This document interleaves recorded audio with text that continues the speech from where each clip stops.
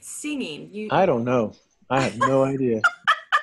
what I have what no idea. you know, it's been your life's work, right? It's not I have no idea. I did start out as a singer, and I didn't start out wanting to be a singer.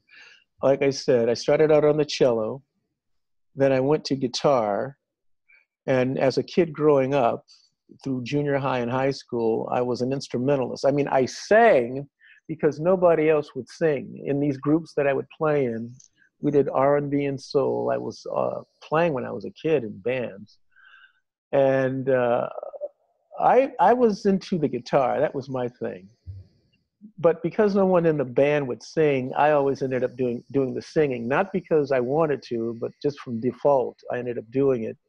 I always thought of myself as an instrumentalist who sang.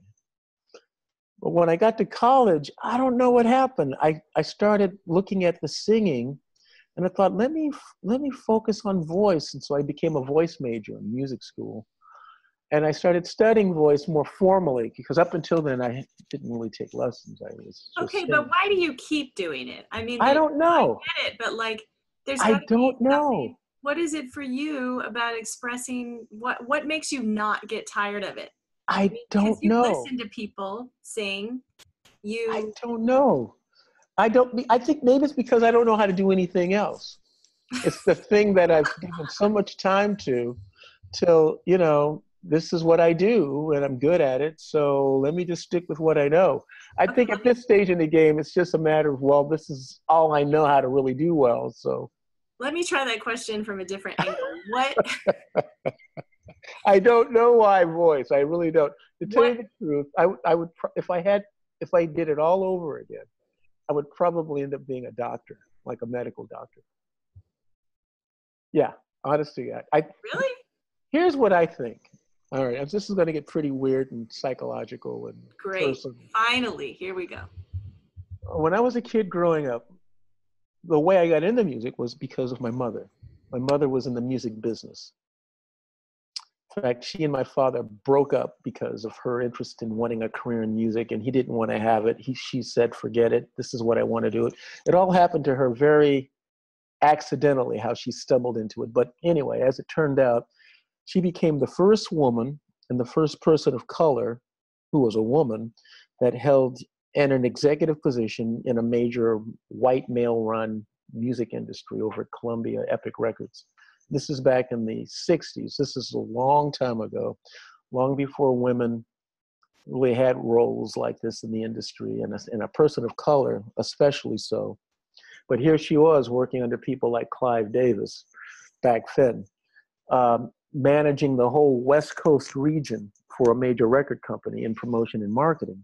So she was quite a maverick for her time. What I'm getting at is given that situation and given that this was the late 50s, early 60s, um, she had to really separate herself out from being my mother and my sister's mother. Back in those days, a woman in a career like that wasn't deemed as somebody capable of having a career if they were also a mother. So she had to play like she didn't have kids, that she was single, and anytime we were with her, we were her younger siblings. My grandmother basically raised me. And I swear to God, I think the only reason why I got into music was so that I might I might attract my mother's attention, my mother's love. Honest to God. Because I saw where so much of her energy was directed towards other artists. She was a publicist, she was in management, she did promotion, she had publishing and management. And so all of her time was devoted to artists. And she didn't even live with us, you know. In fact, she had a place separate from where we grew up with my grandmother. She had to really keep some distance between us and her career.